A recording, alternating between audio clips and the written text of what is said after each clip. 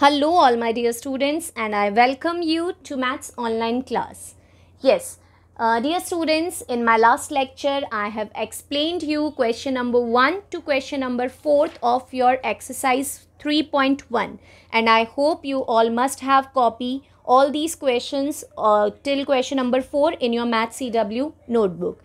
And uh, yes, today I am ready to explain you question number 5, 6 and 7.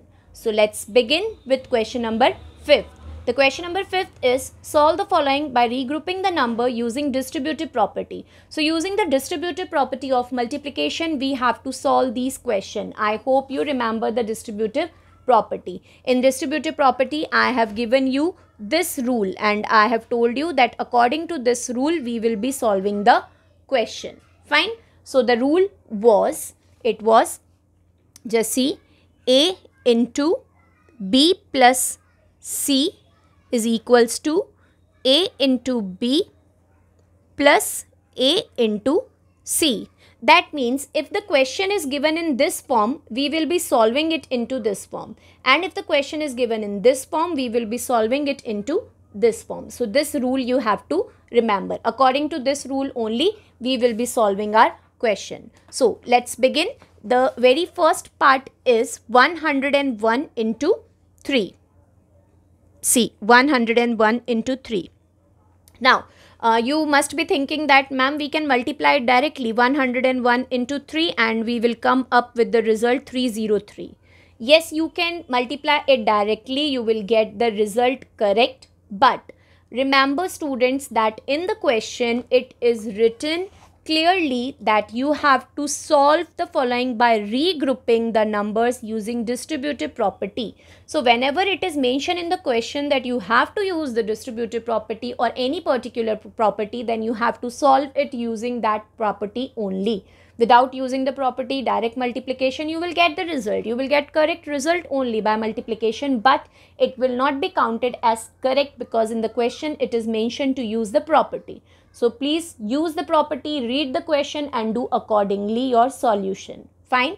So we will be using the property and solve it 101 into 3. See how to use this property. Firstly, we will break this number in this form, in addition form. The number which is nearest to uh, round off value, that number you will be breaking like 101. How we can write 101? We can write 101 as 100 plus 1, right? So you will break this number and outside the bracket you will write number 3. Okay. Simply I have not done anything big. I have just broke this number into two part like 100 plus 1. Okay. Now we have got this format C. We have got our question in this format A into B plus C. So bracket into multiplication A into B plus C or you can see you can say b plus c into a. a can be either side here or there. Fine, it is same only. Now, if we have got question in this way, so we have to multiply it in this way. So, how we have to multiply? We have to multiply a into b plus a into c. So, what is a here? Here we can see that this is b and this is c and this is a. Okay, this is b, this is c and this is a. So when you will multiply, what you will get a into b. So a is 3. So you have to multiply this 3 by 100. So the solution will be 3 will be multiplied by 100. This will come in one bracket. Then in between you have to put plus sign. So here you will put plus sign. Then this 3 will be multiplied by 1. So simply nothing big is there. You have to multiply this 3 with both the number inside the bracket. Firstly you will multiply 3 with 100 and then you will multiply this 3 with 1 like this. Fine. Now multiply it 3 into 100 you know 3 into 100 is 300 and 3 into 1 you know what it is 3. Now add it you will get 303 as you have got here with direct multiplication. But as I told you using the distributive property only you have to solve. So by using distributive property you will come up with your result that is 303. Okay. Got it students? Now see the uh, B part. So the B part is 99 into 6, right? Now, how to write 99? अगर हम 99 को break करेंगे तो हम कैसे लिख सकते हैं? हम 99 को दो तरीके से लिख सकते हैं। या तो हम लिख सकते हैं 90 प्लस नाइन या हम लिख सकते हैं इसको हंड्रेड माइनस वन पहले आपको देखना है जो भी नंबर आप ब्रेक कर रहे हो उसको आप कैसे लिख सकते हो? So I can write it either 90 plus 9 और I can write it as 100 minus 1. So the nearest is this. So I am taking 100 minus 1. I am breaking this 99 and taking it as 100 minus 1. And outside the bracket 6 will come as it is. In, uh, in place of 99 you will write 100 minus 1 and then outside the bracket this number will come as it is. Fine. Now now what you will do? You will multiply this 6 with 100 also and you will multiply this 6 with 1 also. Only difference will be that in place of plus sign in between here it will come minus sign in between because it is distributive property of multiplication over subtraction. I have given you two properties. One was distributive property of multiplication over addition and other is distributive property of multiplication over subtraction. So this is related to subtraction. Now what you will do? You will multiply 6 by 100 and 6 by 1. So you will make two bracket. In first bracket you can write 6 into 100 or 100 into 6 whatever you want to write. Second bracket you will write 6 into 1. Okay. Now multiply it in next step. 6 into 100 will give you 600 minus 6 into 1 will give you what? It will give you 6. Fine. So 5 uh, sorry 600 minus 6 will give you what it will give you 594 as the result. Fine? So this is how you have to solve it. Not that much difficult. Only you have to uh, remember how to uh, solve the uh, rule of distributive property. Now let's move on to c part. So it is 23 into 12 now uh, let us see which number we have to break. See, you can break any number. If you want to break 23, you can break 23. If you want to break 12, you can break 12. If you will break 23, you can write it as 20 plus 3. If you are breaking 12, you can write it 10 plus 2. So, I am taking uh, 12. I am breaking this number 12. Fine. So, see and remember any one number you have to break. If you want, I will explain by both the way. Firstly, I am breaking number 12. See, 23 into okay when I will break 12 I will be writing 12 in bracket as 10 plus 2 after breaking 12 I have written it as 10 plus 2 now in next step what will happen? This 23 will be multiplied by 10 and 23 will be multiplied by 2 also. See I will be making the bracket. 23 multiplied by 10 and then in other bracket between we will put plus sign because it is distributive property of multiplication over addition.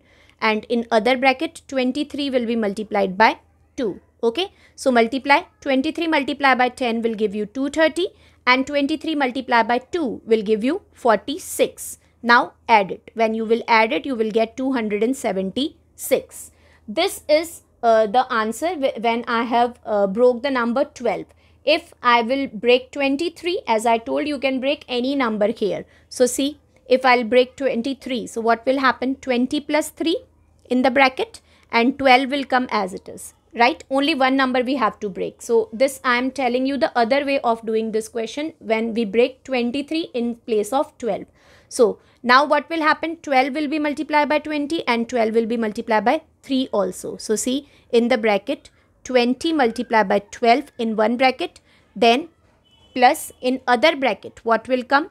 3 multiplied by 12 okay? Now when you will multiply 20 and 12 so 12 2 is a 24 so it will come 240 and 12 3 is a 36 and after adding you will get 276 see answer will come same only. So it's up to you which number you have to break. First number or the second number. Okay there will be no problem in answer. Now uh, we have done c part. Now let's move on to D part. So D part is 33 into 11, right? So here I am breaking this number 11. So how I can break 11? I can write 11 as 10 plus 1, right? I can write like this. So see, 33 will come as it is, multiply by, in place of 11, I will write 10 plus 1. Now, multiply 33 by 10 and then multiply 33 by 1. So, in one bracket, you will multiply 33 and 10 then in other bracket you will multiply 33 and 1. When you will multiply 33 by 10 simply one 0 will come at the last 330 and 33 by 1 will give you the number itself that is 33. Now add these two numbers so it will give you 363 after adding. So this was your D part. Move on to the next part that is part E. So 45 into 9. Okay. So here I can break this number 9 as 10 minus 1 right i can write number 9 as 10 minus 1 so i'm breaking this number if you want you can break 45 also as 40 plus 5 it's up to you which number you want to break so 45 here 10 minus 1 I am writing. Now what I will do in next step, I will multiply 45 by 10 and 45 by 1, 1 by 1. So in first bracket, 45 multiply by 10. In between minus sign will come because here minus sign is there. So you have to remember that which number is there in the bracket uh, sorry, which uh, sign is there in between the bracket. So, whichever sign is there in between the bracket, that sign will only come in the next step. Like here, uh, positive sign was there. So, here positive sign came. Here negative sign is there. So, in between the bracket, negative sign will come. Now, in next bracket, 45 multiply by 1. So, when you will multiply 45 by 10, you will get 450. And then when you will multiply 45 by 1, so you will get what? You will get number 45. Now, subtract it. After subtraction, you will get 405 as the answer. Fine. So, this was your E part. Now, let's move on to the last part that is part F of question number 5th. It is 47 multiplied by 62. Now, here uh, you can again uh, break any of the number either 47 or 62. If you break 47, it will be 50 minus 3 right? And if you break 62 it will be 60 plus 2 so it's up to you. You want to do it in negative uh, form or positive form okay? So i am teaching you with negative form. If we break 47 as 50 minus 3 okay? Then multiply by 62 see answer will come same only if you will use this or this. It's totally up to you. Now 62 will be multiplied by 50 and 60 will be 62 will be multiplied by 3 also so see it will be 50 into 62 and then in between minus sign will come because here minus is there 3 into 62. Now 50 into 62 will give you 3100 and 3 into 62 will give you 186. Now when you will subtract you will get the answer 2914. Okay. So remember in whichever way you want to do you can do it. Fine it's all up to you. If you want to uh, use negative you use it negative. If you want to use in positive way you can use it in positive way. Answer will come same only only uh, you cannot do direct multiplication and write the answer because you have to move according to the property only which is asked in the question. Now that was all about question number 5th let's move on to question number 6th now question number 6 is again related to distributive property see Find the product using distributive property over addition or subtraction. If it is addition, then move according to addition. If it is subtraction, then move according to subtraction in question number uh, 6. Fine. So, let's move on with all the parts one by one. Firstly, I am taking A part and the A part is, it is 45 multiplied by 25 plus 4. In this way, it is given outside the bracket multiplication sign and inside the bracket it is positive sign. So this way only it was given. So what we will do, we will multiply 20, 45 by 25 and then we will multiply 45 by 4. So one by one we have to multiply by both the numbers. So see, firstly when we will multiply 45 by 25. So you can write like this 45 into 25. In between plus sign will come because in bracket it is positive sign and in other bracket 45 will be multiplied by 4. So multiply 45 and 25 when you will multiply these two number you will get double 1 to 5. Multiplication you know very well.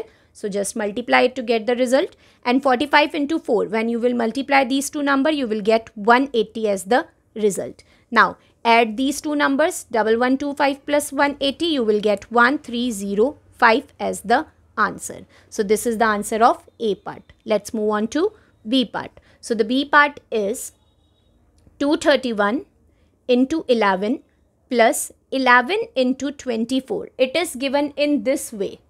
okay so whenever the question is given in this way we will be solving it in that way and if it is given in this way we will be solving it in this way see how we will be doing it here you can see that number 11 is coming two time 11 is coming here also and 11 is coming here also so whenever any number is coming two time we will be taking it only one time in next step kabhi bhi koi number do baar agar question mein aa raha hai तो next step में हम उसको एक बार ही लेंगे अगर इस format में given हो तो इस इलेवन को आप दो बार लिखने की जगह सिर्फ़ एक बार लिखोगे like this you have to write eleven then you will put multiplication sign always जब भी आप कॉमन ले रहे हैं बेसिकली हमने कॉमन लिया है ये वैल्यू कॉमन लेने के बाद में आप मल्टीप्लीकेशन का साइन लगाएँगे.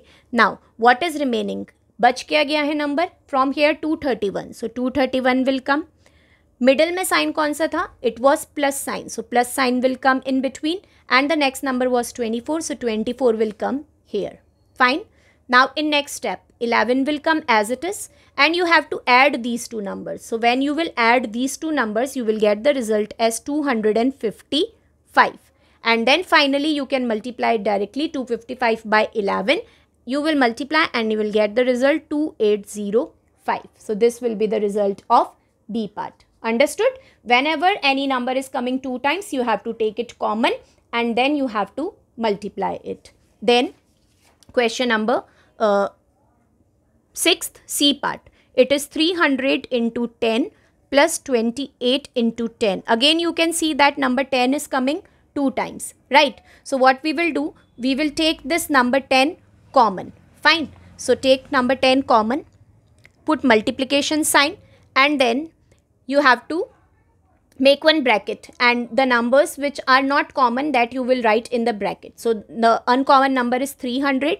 So 300 will come in the bracket. In between positive sign will come and then this 28 will come because 10 we have already taken outside the bracket. Now 10 into add this 300 plus 28 will give you 328 and then finally multiply it by 10. So whenever we multiply any number by 10 we get 0 at the last. So 3280 will be the answer of this C part.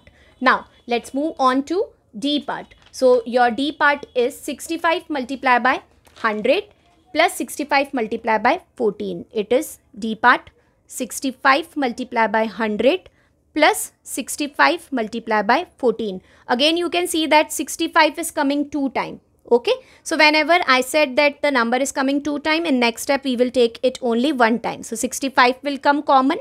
Multiply in the bracket, you will write the uncommon values that is 100 plus 14 from here. So 100 plus 14. Next step, write down 65. 100 plus 14 will give you 114 and then multiply. 65 multiplied by 114 will give you 7410 as the result. Got it?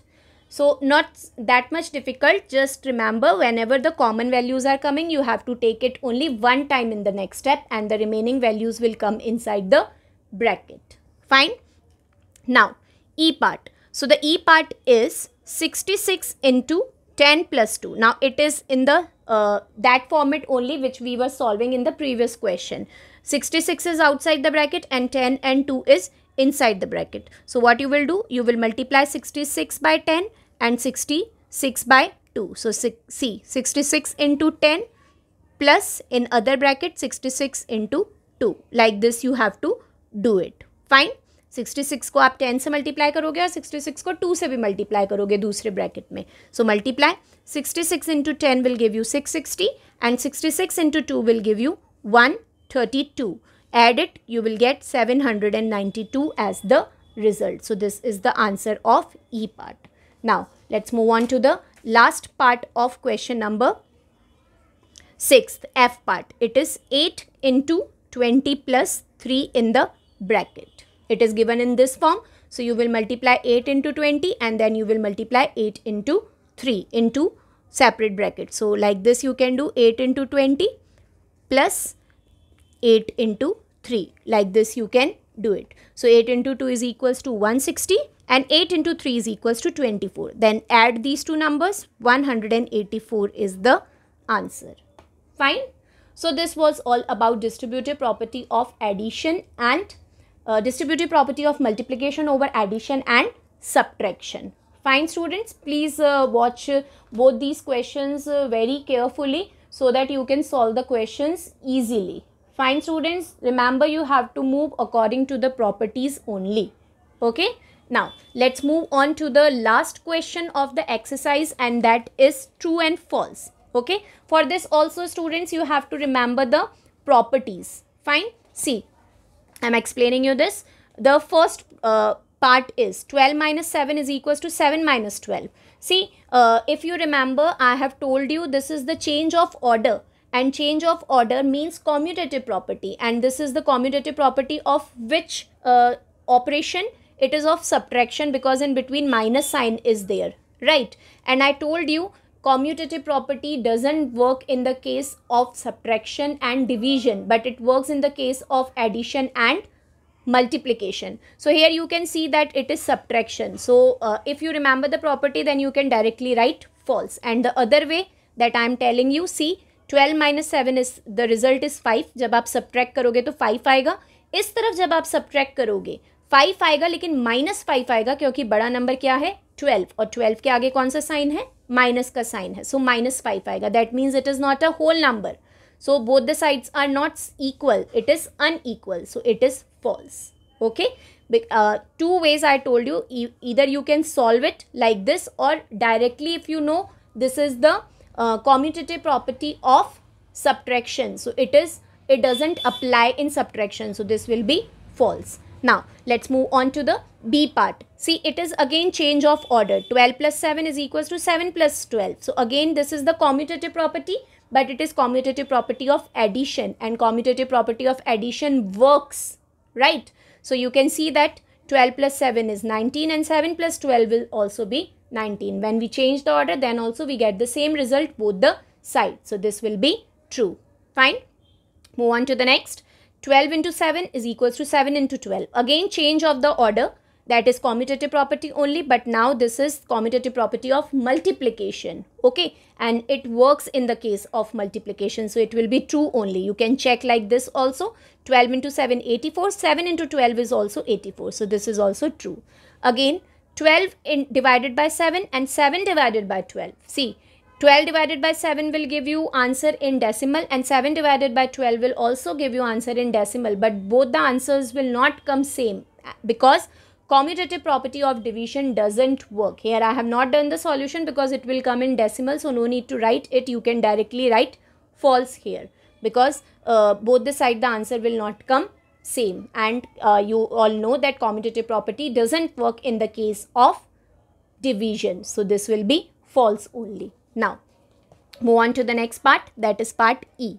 It is 12 plus 0 and 0 plus 12. Now 0 is there in the question so that means this is the property of 0 and in between addition sign is there and you know in addition all the property works. Addition or multiplication में सारी properties में true ही आता है और subtraction और division की सारी property में फॉल्स ही आता है, ये आप ध्यान रखिए। अगर एडिशन और multiplication आ रहा है तो कोई भी प्रॉपर्टी हो, उसकी उसमें ट्रू ही आएगा। लेकिन अगर सब्ट्रैक्शन और डिवीज़न आ रहा है तो उसकी सारी प्रॉपर्टी के अंदर फॉल्स ही आएगा। ओके सो यहाँ पे देखिए twelve plus zero is twelve and zero plus twelve is also twelve so it will be true right and this is the property of zero of addition so it is true now subtraction आ गया है zero के साथ में so it will be false only see seven minus zero is seven and zero minus seven will be minus seven so both the sides are not equal and it is the property of zero of subtraction so I told you subtraction और division में सब false होंगे. So this will be false now